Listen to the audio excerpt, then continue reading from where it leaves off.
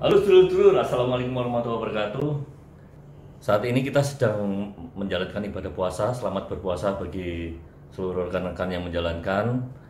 Terima kasih bagi rekan-rekan yang sudah mensubscribe channel saya. Dan bagi yang belum silahkan subscribe dengan menekan tombol merah Supaya channel saya bisa berkembang. Siang ini kira-kira kita mau ngapain ya? Di masa-masa wabah pandemi corona ini kita nggak bisa ke mana-mana dan kita pasti bosan berada di rumah. Dan ini kebetulan juga bulan puasa, sehingga saya akan membuat hidangan untuk berbuka puasa yang cukup simpel, yang kebetulan selama berada di rumah ini saya belajar untuk menghilangkan kejenuhan saya ini. Pada kesempatan ini saya akan membuat martabak manis dengan bahan-bahan yang tidak terlalu sulit yang kita dapat di sekitar kita. Oke, kita saksikan bagaimana cara membuatnya. Bahan-bahan yang kita siapkan adalah 250 gram tepung terigu dan ini kalian bisa menggunakan tepung bogasari. Kemudian ini 300 ml susu kental manis, satu butir telur, setengah sendok teh baking powder, setengah sendok teh garam, setengah sendok teh baking soda, dan 3 sendok makan gula pasir. Untuk toppingnya kita nanti menggunakan eh, meses dan susu kental manis. Setelah adonan siap, semuanya kita masukkan satu persatu.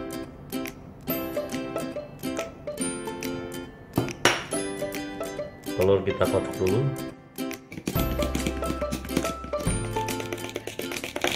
Kita kotak lepas.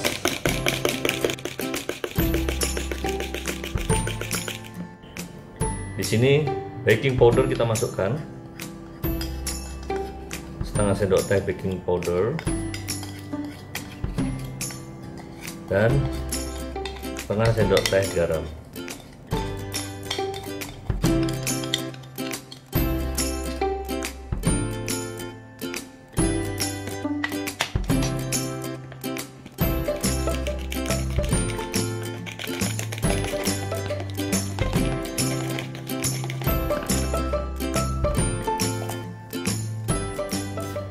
kita masukkan gula.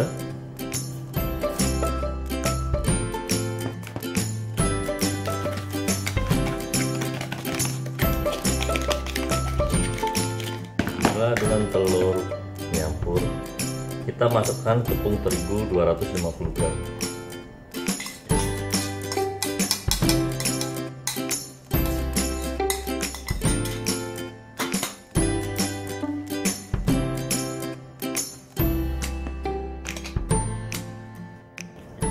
kita masukkan susu cair. Jika tidak ada susu cair ini bisa digantikan dengan air 300 ml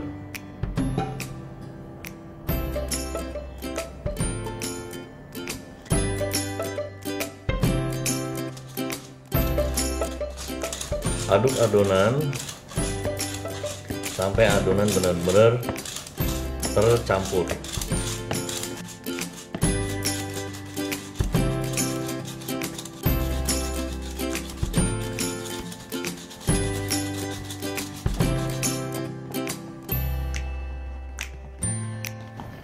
usahakan adonan tercampur merata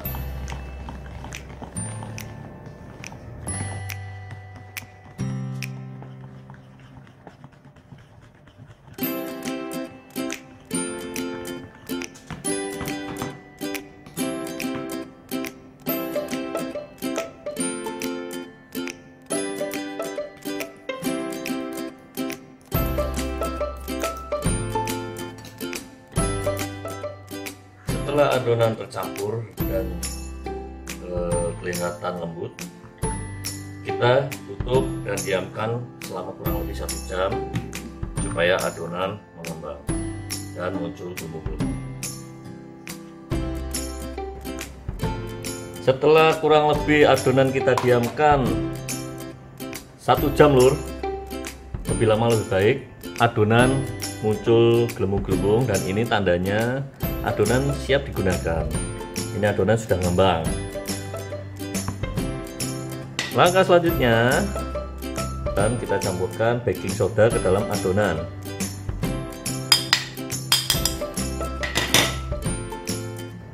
Kita aduk kembali adonannya. Sampai baking sodanya tercampur. Jangan lupa ya lur biar adonannya jadi bagus. Satu lagi lur supaya adonan kelihatan mengkilat kita campurkan mentega yang sudah dicairkan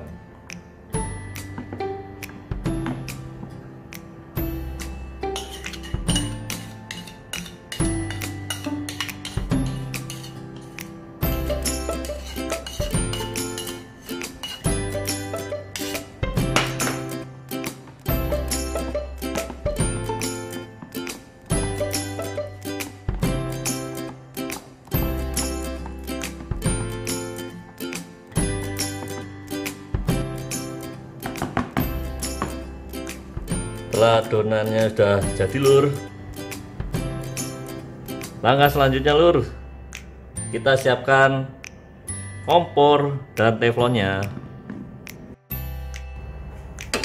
Nah ini lur. Kita harusnya pakai teflon yang agak besar dan permukaan yang licin. Cuman karena punya yang kecil ya kita pakai aja yang kecil. Yang jelas kita harus panaskan dulu sampai teflonnya panas setelah panas nanti baru kita kecilkan apinya. Setelah teflonnya panas kita tuang ke dalam teflon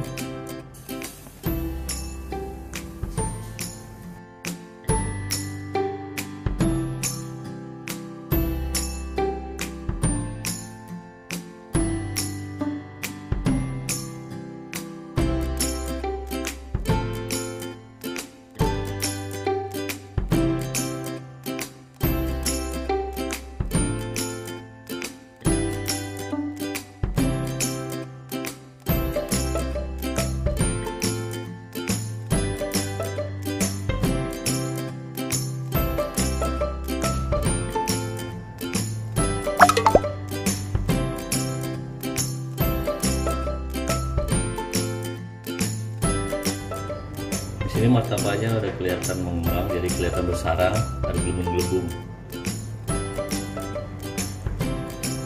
Setelah keluar sarangnya kita tambahkan gula bagi yang suka manis.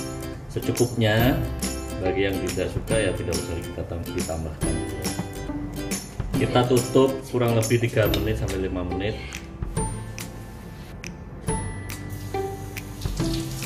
Setelah 3 menit kita pindah martabak manisnya. Kita matikan dulu apinya. Kita siapkan tempat untuk memindahnya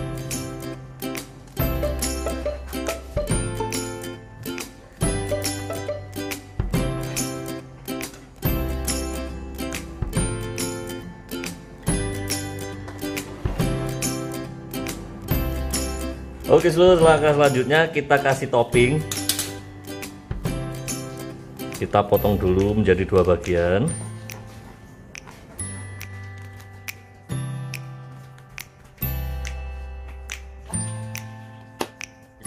Kita oleskan mentega ya.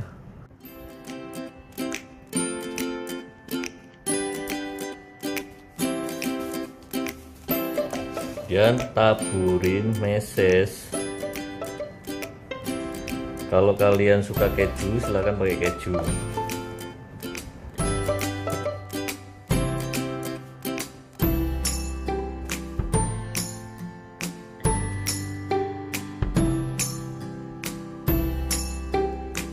Terakhir sebagai topping kita kasih susu kental manis.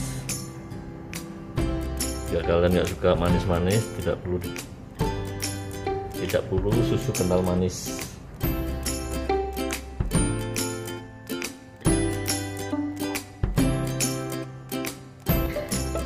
ini sudah bisa kita sajikan. Nah, kelihatan permukaannya. Bersarang. Mantap lur ini kita bisa potong-potong sesuai kebutuhan ya. Saya potong menjadi empat bagian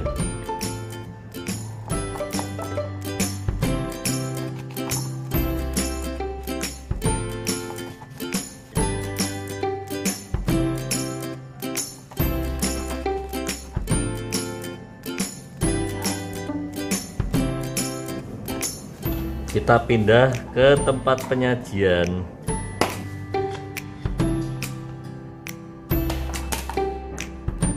Oke seluruh iki martabak manisnya sudah jadi. Bisa dicek di sini bersarang. Ya toh?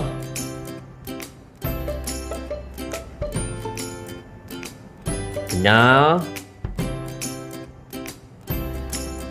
Silahkan kalian mencoba di rumah selama kalian tidak bisa mencari hidangan berbuka puasa sendiri. Ini resepnya sangat simple. Selamat mencoba. Semoga berhasil. Anti gagal. Wassalamualaikum warahmatullahi wabarakatuh.